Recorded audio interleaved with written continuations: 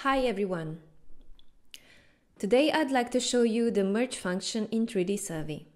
With merge function you can join two point clouds or duplicate a single one in case you have selected just one point cloud.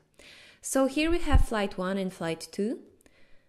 As you can see from the point cloud, they overlap really well and in case you would like to join these two point clouds, click on merge.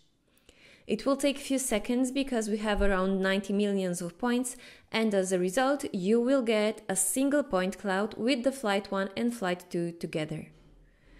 We can see the result in 3D window and in the list of point cloud where the third point cloud was created, flight 1 plus flight 2 together.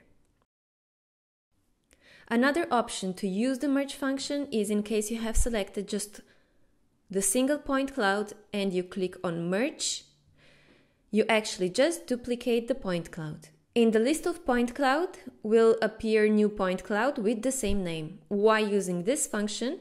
If you would like to do the manipulation on point cloud and keep the original one, this is the function you could use.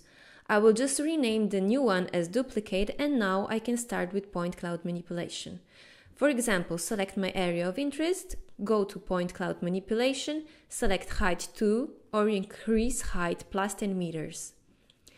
As you can see it here, we did the manipulation on our duplicated point cloud, but if I select also the original one from the point cloud list, we can see that the original data was not changed.